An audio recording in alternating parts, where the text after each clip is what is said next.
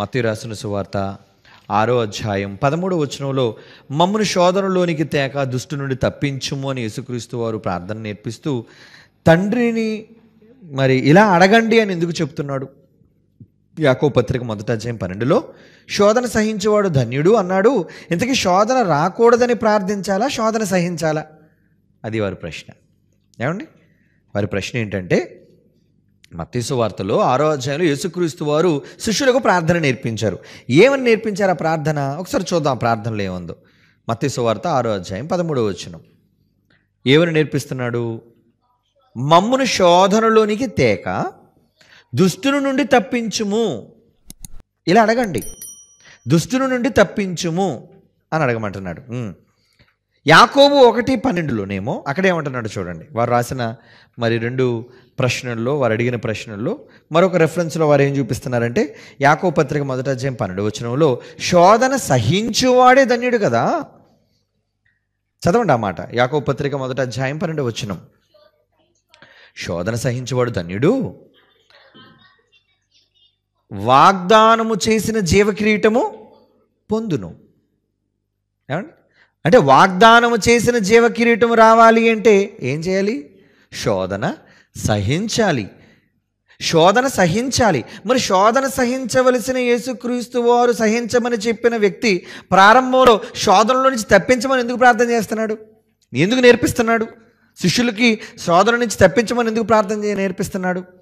అక్కడ శిష్యులు అప్పటికి బలవంతులు కారండి. వాళ్ళు అప్పుడే ప్రాథమిక పాఠాలు నేర్చుకుంటున్న పసిపిల్లలతో సమానం వాళ్ళు. వాళ్ళు అప్పుడే యేసు దగ్గరకు వచ్చారు. వారు చిన్ని చిన్ని వాటికి కూడా బలహీనపడే పరిస్థితులు వాళ్ళ దగ్గర ఉన్నాయి. ఎందుకంటే యేసుక్రీస్తు వారు కూడా తిరిగిన వాళ్ళు నమ్మలేకపోయారు కదండి యేసుప్రభుని. నేను లేస్తానని యేసుప్రభు చెప్పినా వారు లేఖనములు నమ్మలేకపోయారు. యేసు చెప్పిన మాటలు ఎందుకు విశ్వాసం ఉంచలేకపోయారు? అందుకే కదా యేసుప్రభు చాలా సందర్భాల్లో వారిని ఏమన్నాడు? అల్ప విశ్వాసులారా అన్నాడు. అవునా? ఎందుకర్రా మీరు బలహీన పడుతున్నారు అని చెప్పన్నాడు. అంటే వారు ప్రారంభ దశలో ఉన్నారు. యేసు ప్రభు దగ్గరకు వచ్చిన వెంటనే వాళ్ళు మహాభక్తులు అయిపోతారా ఏమండి? చాలామంది అంటుంటారు ఏమిటి రెసిడెన్షియల్ యూనివర్సిటీలో ఐదు సంవత్సరాలు నేర్చుకుంటే మహాజ్ఞానం వచ్చి భక్తులు అయిపోతారంటే ఎందుకు అయిపోతారండి మూడున్న మూడున్నర సంవత్సరాలు యేసుప్రభుతో ఉండి వాళ్ళే మహానుభావులు గొప్పవాళ్ళు కాలేకపోయారు. యేసు బ్రతుకున్నప్పుడే ఒకరేమో దొంగ అయిపోయారు ఒకరేమో అల్పవిశ్వాస అయిపోయారు తోమ లాంటి వాళ్ళు పేతులు లాంటి వాళ్ళు ఏమో కత్తి తీసి చెవి నరికేస్తున్నాడు. ఆయన గోండాల తయారాడు ప్రజాదాసును కొట్టి అంటే వాళ్ళందరూ ఉత్తములుగా తీర్చిదిద్దడం అంటే చాలా కష్టం. అది తీర్చిదిద్దేవాడికి తెలుస్తుంది. ఏమండి? ఒక శిల్ప ఒక రాయిని శిల్పంగా మలచాలి అంటే శిల్పకారునికి తెలియాలి. ఆ కష్టం ఏంటో శిల్పం అంతా చెక్కిన తర్వాత టప్పని ముక్కు ఊడిపోయింది అనుకోండి. ఎక్కడ ఉలితో కొట్టినప్పుడు. శిల్పం అంతా ఎందుకు చెప్పండి? ఒక చెవు ఊడిపోయింది అనుకోండి. వాళ్ళు అంటిస్తారేంటి ఎక్కడుంది? ఏకశిలా విగ్రహాలు చేసేటప్పుడు బొమ్మ అయితే చెరిపేస్తారు. మళ్ళీ రంగు కలిపేసి మళ్ళీ వేరే రంగు వేస్తారు. కానీ చెక్కేటప్పుడు ఇంకో ఏమాత్రం తేడా వచ్చినా ఇంకా అది వ్యర్థం నిష్ప్రయోజనం. కనుక ఒక రాతిని మలచడమే ఎంత కష్టమైనప్పుడు ఒక మనిషిని జీవితంలో దేవుని కోసం మలచాలి అంటే ఎంత కష్టం ప్రియులారా?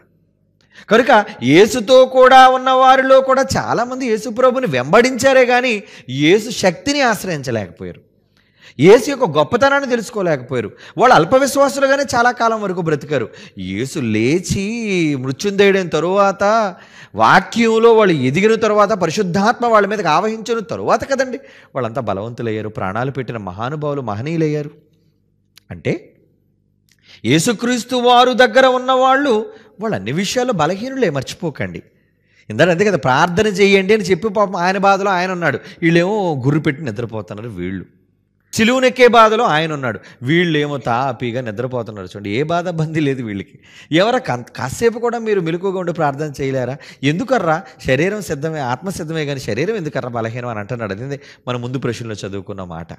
కనుక ప్రియులారా వారు బలహీనులుగా ఉన్నారు. చాలా సందర్భాల్లో వాళ్ళ భక్తి తప్పిపోద్ది.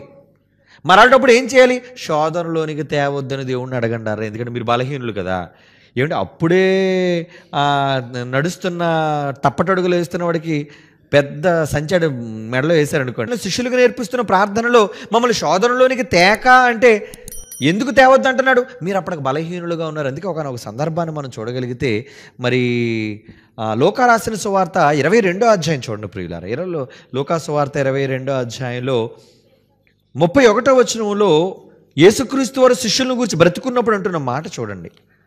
లోకరాసిన సువార్తలో ఇరవై రెండో అధ్యాయంలో ముప్పై ఒకటో వచ్చినలో ఏమన్నాడు చూడండి? సీమోను నానా పేతురు ఇదిగో సాతాను మిమ్మును పట్టి గోధునులే జల్లించుటకు మిమ్మల్ని కోరుకొనును. వాడున్నాడే. ఈవిల్ స్పిరిట్ ఉన్నాడు కదా నాన్న అపవాది వాడు మిమ్మల్ని అడుగుతున్నాడు మాట మాటికి. నాకు పేతున్నవా పేతున్నవా పేతున్నవా అపోస్తులనేవా అపోస్తులనేవా ఎందుకంటే వాడు అడుగుతుంటాడు కదండి.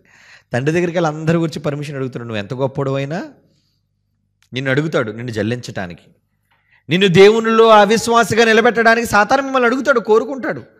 ఈరోజు మమ్మల్ని అందరినీ కోరుకుంటున్నాడు వాడు కోరుకున్నాడు. ఓ జల్లిస్తున్నాడు. అలాగేలా కాదండి. దేవుని వాక్యాన్ని చెప్పుకుంటూ వెళ్ళిపోతున్న ఎన్నో అవమానాలు అనరాని మాటలు ఎన్నో నేరస్థాపన.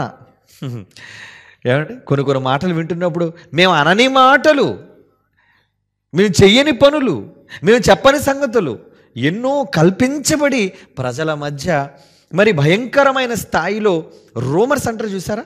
రోమర్స్. ఇటువంటివన్నీ బయలుదేరిపోయి సమాజంలో అయ్యో ఏంటి అసలు మనం చెప్పలేదు మనం అనలేదు ఎందుకర్రా ఈ మాటలన్నీ వీళ్ళు మాట్లాడుతున్నారు? ఎవరో చెప్పిన తప్పుడు మాటలు విని ఎందుకు నేరస్థాపన చేస్తున్నారు? కనుక ప్రియులర బాధ కలుగుతుంది. కారణం ఏంటంటే వారు మాటలు విని నమ్మేస్తున్నారు. నిజమేదో అబద్ధమేదో స్వయంగా తెలుసుకోండి. విన్న వెంటనే మీరు నమ్మేస్తారా దేనినైనా? ఉన్న వాక్యాన్ని ఒకటి నమ్మరు కానీ అబద్ధాన్ని మాత్రం నమ్మడానికి ఎంత వేగం అండి మనిషికి? వ్రాయబడిన పటిష్టమైన వాక్యాన్ని నమ్మరు. మీ విశ్వాసాన్ని నిలబెట్టడానికి ఎన్నో వందల వచనాలు చెప్పాలి. అందుకే కదా ప్రతి ఆదివారం చర్చికి ఎందుకు వెళ్తారండి క్రైస్తవులందరూ? వాక్యం ద్వారా బలం పొందడానికి. ఈ వారం కొట్టిన గాలి అంతా పోయిందా? పోయినట్టే. అందుకే కదండి ఉజ్జీవ సభలు అంట దేనికి ఉజ్జీవం? పాత జీవం ఏమైంది? పంచర్ చేసింది అపవాది. వాడు కన్నం పెట్టాడు. ఉన్న గాలంతా ఉద్యమంతా తీసేశాడు కనుక ప్రతి వారం వారం గాలి కొట్టాలి మనకి. లేదా ప్రతిరోజు గాలి కొట్టాలి. అంటే వాక్యం వింటే మనం బలం పొందుతాం. వాక్యం వినలేదు అనుకోండి బలహీనలం అయిపోతుంటాం. కనుక అపవాది మనల్ని కోరుకుంటుంటుంది. అపవాది మనల్ని అడుగుతుంటుంది. జల్లించడానికి వీళ్ళు చాలా భక్తిగా ఉన్నారు. వీడి సంగతి ఏదో చూస్తాను. ఇస్తావా అవకాశం? అని అలా అడిగిందట ఎవరి కోసం? సీమోను ప్రభు అంటున్నాడు చూడండి. లోక ఇరవై రెండు ముప్పై ఒకటి. సీమోను సీమోను ఇదిగో సాతాను మిమ్మల్ని పట్టి గోధుమలో జల్లించుటకు మిమ్మల్ని కోరుకున్నాడు కానీ నీ నమ్మిక తప్పిపోకుండానట్లు నేను నీ కొరకు వేడుకుంటుని. నేను అడిగాను వద్దులే తండ్రి కొంచెం ఇప్పుడు పేతురు గారు బలహీనంగా ఉన్నారు. ఇప్పుడు అనవసరంగా అపవాదికి ఎక్కువ అవకాశం ఇవ్వద్దు. ఇస్తే అనవసరంగా పేతురు గారు తప్పిపోతారేమో. అంటే శోధంలోనికి తెమ్మనా తేవద్దనా? శోధించేవారెవరు? శోధకుడు అపవాది. కనుక అపవాది శోధనకి ఎక్కడైనా ఒకవేళ గురి అయిపోయేది పరలోక రాజ్యపు తాళపు చెవులు అందుకోవాల్సిన పేతురు గారు తప్పిపోతారేమో? పేతురు గారు దెబ్బతింటారేమో అందుకే కొంచెం నేను రిక్వెస్ట్ పెట్టాను. నువ్వు దెబ్బతింటావేమో ఎందుకంటే నువ్వు తర్వాత సహోదరులందరినీ బలపరచాలి. నువ్వే సంఘాన్ని ఆరంభించాలి. నువ్వే మొదటి ప్రసంగాన్ని చేయాలి. నువ్వే నాయకుడిగా ఉండి నిలబెట్టాలి సంఘాన్ని. ఇన్ని కార్యక్రమాలు ఉన్నాయి కదా నువ్వు తప్పిపోతావేమోనని శోధనలోనికి నిన్ను తేవద్దని నేను వేడుకున్నాను అంటున్నాడు. కనుక ఎందుకు వేడుకోమని ఆ రోజు చెప్పాడంటే వాళ్ళంతా చిన్నోళ్ళు. వాళ్ళ జ్ఞానంలో ఎదగని వాళ్ళు ఎదగని వాళ్ళ కోసం ప్రారంభంలో అన్నాడు. శోధన స- మీరు శోధనలో నుంచి తప్పించడానికి మరి దేవుణ్ణి వేడుకోండి శోధనలోనికి తేకుండా వేడుకోండి. మరి బలవంతులైన తర్వాత? బలవంతులైన తర్వాత రానివ్వండి కష్టాలు రానివ్వండి. రానివ్వండి బాధలు. ఏమండి కష్టాలు మనిషికి రాకపోతే మొక్కకు వస్తాయా చెట్టుకు వస్తాయా అంటారు. అంటే వీళ్ళు ఎవరు అనమాట కష్టాల్లో ఆరితేరిపోయిన వాళ్ళు జీవితాన్ని అనుభవించిన తర్వాత ఒడిదొడుకులు తట్టుకున్న వాళ్ళు ఏమంటారండి ఏమండి నాకు ఇవన్నీ అలవాటైపోయాయండి. ఎన్ని అవమానాలు పొందానండి ఎన్ని మాటలు అన్నారండి ఇవన్నీ నాకు అలవాటైపోయాయండి. అంటే ప్రారంభంలో అయితే కొంతమంది చూడండి ఒక్క తప్పుడు మాట విన్నందుకు ఊరు ఊరు పోసేసుకుంటుంటారు. ఒక్క తప్పుడు మాట అన్నదికి ప్రాణం తీసేసుకుంటుంటారు. అంటే వాళ్ళు బలహీనులు. వాళ్ళ మనస్సాక్షి బలహీనమైనది. వాళ్ళ విశ్వాసంలో బలహీనుడు వాళ్ళ శరీరం బలహీనమైనది. వాళ్ళ మెదడు చాలా వీక్ మైండెడ్ కనుక ఎప్పుడు మానసికంగా స్ట్రాంగ్గా ఉండాలి. కండలు పెంచడం కాదండి. సంసోను కండలు పెంచాడు కానీ బుర్రబలం లేదు. కండబలం ఉంది కానీ బుద్ధి బలం లేదు. అందుకే కదా పాపం ఆ గయ్యాలు వేధిస్తుంటే చచ్చిపోవాలనుకున్నాడట. కారణం ఏంటంటే అతను మనోధైర్యం కలిగిన వాడు కాడు. కనుక శరీర సంబంధమైన బలం కాదండి కావాల్సింది. మానసికమైన బలం. అందుకే ఎక్కువగా కొంతమంది బలహీనమైన వ్యక్తులను ఏం చేస్తారు? సైకియాట్రిస్ట్ దగ్గర తీసుకెళ్తుంటారు. అలాగే కౌన్సిలింగ్ అంటుంటారు. కౌన్సిలింగ్. వాళ్ళు కూర్చోబెట్టి కౌన్సిలింగ్ ఇస్తారు. ఏంటారా మీరు చేస్తున్న పని ఏంటి? కనుక ఈరోజు సమాజానికి కౌన్సిలింగ్ కావాలి. ఏ కౌన్సిలింగ్ కావాలి? దైవ సంబంధమైన జ్ఞానముతో దేవుడు చెప్పే మాటలే ప్రతి మనిషిని నిలబెట్టే కౌన్సిలింగ్. ఈరోజు సభలు ఎందుకు పెడతానండి డబ్బులు సంపాదించడానిక? కాదండి. ఈరోజు సభలకు ఎందుకు వెళ్ళాలి? బహిరంగ సభలు ఎందుకు పెట్టాలి? పబ్లిక్ మీటింగ్స్లో ఎందుకు మాట్లాడాలి? మన ప్రతిభను చాటుకోవడానికి కాదండి ప్రతి మనిషికి దేవుని వాక్యము చేత కౌన్సిలింగ్ కావాలి. వాళ్ళు స్థిరపడాలి బల బలపడాలి అంటే వాక్యం కావాలండి. వాక్యం కదండి బలమైనది. వాక్యమే కదండి గొప్పది. అదే కదండి మనిషిని నిలబెట్టేది. ఏమండి? నిజంగా వాక్యమే లేని సందర్భంలో మనిషి నిలబడడం చాలా కష్టం అండి ప్రతి మనిషిని నిలబెట్టగల సమర్థుడు దేవుడేనండి. ఒకరోజు ఒక సమయం వచ్చింది. ఏంటో తెలుసా? పాపం పౌలు గారిని అందరూ విడిచి వెళ్ళిపోయారట. సువార్త పక్షాన విశ్వాస పక్షాన నిలబడినప్పుడు తిమోతికి రాసిన రెండో పత్రికలో పౌలు తన బాధ తన ఆవేదన వ్యక్తం చేస్తున్నాడు చూడండి. ఏమని వ్యక్తం చేస్తున్నాడు? ఒకసారి చదవండి ఆ మాట. తిమోతికి రాసిన రెండో పత్రిక నాలుగో అధ్యాయం పదిహేను వచనం. తిమోతికి రాస్తున్న రెండో పత్రిక నాలుగో అధ్యాయం పదహారు వచనం చూడండి ప్రియులారా. ఏమంటున్నాడు అక్కడ? నేను మొదట సమాధానం చెప్పినప్పుడు ఎవరూ నా పక్షాన నిలబడలేదు. ఏమండి? ఈరోజు చాలామంది అవమానిస్తూ మీ దగ్గర ఎవరు ఉన్నారండి మీ దగ్గర ఎవరు లేరుగా? మనుషులు ఉండాలా మన వెనకాతల? ఏమండి? మన దేవుడు మన పక్షాన ఉంటే చాలండి. లోకం మనతో ఉన్నా లేకపోయినా ధనబలం జనబలం అధికార బలం మన వెనక ఉన్నా లేకపోయినా దేవుడు మన వెనక ఉన్నాడా లేదా అన్నది ఎప్పుడు ఆలోచించాలి. దేవుడు మన బలపరుస్తున్నాడా లేదని చూడాలి. పౌలు అంటున్నాడు ఏమంటున్నాడు ఆ మాట? నేను మొదట సమాధానం చెప్పినప్పుడు ఎవడు నా పక్షాన నిలువబడలేదు. అందరూ నన్ను విడిచి పోయారు. అందరూ నన్ను విడిచిపోయారు ఒంటరినైపోయాను నేను. నా అనుకున్న వాళ్ళందరూ నన్ను విడిచిపోయినప్పుడు అప్పుడు నన్ను తప్పించింది ఎవరు అని కిందకి వెళ్తే అంటాడు చూడండి. అయితే నా ద్వారా సువార్త పూర్ణముగా ప్రకటింపబడి నిమిత్తం అన్యజనులందరూ దానిని విను నిమిత్తం ప్రభు నా ప్రక్కన నిలిచి నన్ను బలపరిచాను. ప్రియులారా కనుక ఒక మంచి మాట అందుకే పౌలు అంటాడండి. చాలా ఇష్టం నాకు ఆ మాట. కొరిందులకు రాసిన మొదటి పత్రిక పదిహేనో అధ్యాయులు అంటాడు నేనేమై ఉన్నాను? చాలా నచ్చిన మాట అండి నాకు. పౌలు గారు నిజంగా ఆయన గొప్పతనాన్ని ఆయన తగ్గింపు స్వభావాన్ని మాట్లాడుతున్నాడు చూడండి. ఎక్కడ అన్నాడంటే కొరిందులకు రాసిన మొదటి పత్రిక పదిహేనో అధ్యాయం పదవచనం. కొరిందులకు రాసిన మొదటి పత్రిక పదో అధ్యాయం క్షమించండి పదిహేనో అధ్యాయం పదవచనం. ఆయనను నేనేమై ఉన్నానో అది దేవుని కృప. నేనేమై ఉన్నానో అది దేవుని కృప వల్లనే అయి ఉన్నాను అంటున్నాడు చూడండి. అంటే ఈరోజు మీలో ఎవరైనా కష్టాలలో ఉన్నప్పుడు మీరు నిలబడాలి అంటే ఆ నిలబడడానికి మీకు సహాయం చేసేది దేవుడేనండి. వ్యక్తులు ఉండి మిమ్మల్ని బలపరచాలనో వ్యక్తులు ఉండి మిమ్మల్ని నిలబెట్టాలనో మీరు అనుకోకండి. కాబట్టి ప్రియులారా ఇక్కడ శోధన సహించేవాడు ధన్యుడా? అవును ధన్యుడే. శోధన సహించేవాడు నిజంగా ధన్యుడే. కనుక అనుభవించక ముందు ప్రారంభంలో అయితే పాపం బలహీనులు కాబట్టి శోధనల నుంచి తప్పించండి అని ప్రార్థన చేయమన్నాడండి. ఆ ప్రార్థన సంపూర్ణమైన ప్రార్థన కాదండి. రాజ్యం వచ్చుగాక అనమన్నాడు. రాజ్యం వచ్చిందా? వచ్చేసింది. కనుక ఆ రోజు శోధనల నుంచి తప్పించమన్నాడు. ఇప్పుడు తప్పించమని నువ్వు అడగనవసరం లేదు. శోధనలో నుంచి తప్పించే మార్గాన్ని దేవుడే ఓపెన్. కొరిందులకు రాసిన మొదటి పత్రిక. చూడండి. కొరిందులకు రాసిన మొదటి పత్రిక పదో అధ్యాయం పదమూడు వచ్చిన చూడండి ప్రియులారా. కొరిందులకు రాసిన మొదటి పత్రిక పదో అధ్యాయం పదమూడు వచ్చినం సాధ మనుష్యులకు కలుగు శోధన తప్ప మరి ఏది మీకు సంభవింపలేదు.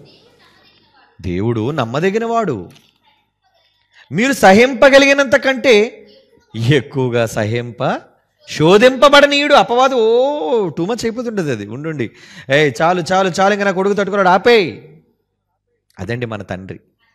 అంతేకాదు సహింపగలుగుటకు తప్పింపబడుటకు దేవుడు శోధనతో కూడా శోధన మీకు కలిగినా తప్పించుకున్న మార్గమును కలుగజేయను. ఎంత గొప్ప తండ్రి అండి మనల్ని ఎంతమంది శోధనకు గురి చేసినా ఎంతమంది ఇబ్బందులు పాలు చేసినా ఆ ఇబ్బందుల్లోంచి ఎలా నాకు ఏ దిక్కు తోచడం లేదు నేను ఎటు వెళ్ళాలి అనుకున్నాడు. అదిగో అదిగో అదిగో అదిగో. చీకటిలో నీకు వెలుగు కనబడుతుంది అదేనయ్యా ఎంట్రన్స్ ఓపెనింగ్ పద. అలా త్రోవ చూపించి మళ్ళీ కష్టాల్లోంచి బయటికి తెచ్చే నాదురండి మన తండ్రి. ఆ రోజు శోధన లోనికి తేవద్దని ప్రార్థించమన్నాడు. ఆ తర్వాత రానివ్వండి శోధన. తప్పించే మార్గాన్ని దేవుడు నాకున్నాడు అని పరిపూర్ణులుగా దేవుని జ్ఞానంలో ఎదిగే స్థాయి మనిషికి వచ్చినప్పుడు అప్పుడు శోధన సహించేవాడు ధన్యుడే కదా. అందుకే శోధన సహించేవాడు ధన్యుడు. అనుభవించు కష్టాలు వస్తున్నా అవమానాలు కలిగిన బాధలు వచ్చినా అనుభవించు అంటున్నాడు. ఓకే ప్రియులారా? దేవుని గూర్చి చెప్పిన దేవుడే. తన కొరకు ఆనాడు చెప్పాడు వేసే కదా. తన కొరకు ప్రతిరోజు చెప్పాలి నీవే గదా తన కొరకు నువ్వు చెబితే దైవానివే. తన గూర్చి నువ్వు చెబితే దైవానివే. నీ కొరకు చూశాడు ఆ దేవుడే. నీ కొరకు చూశాడు ఆ దేవుడే. నీ కోసమే saddle down.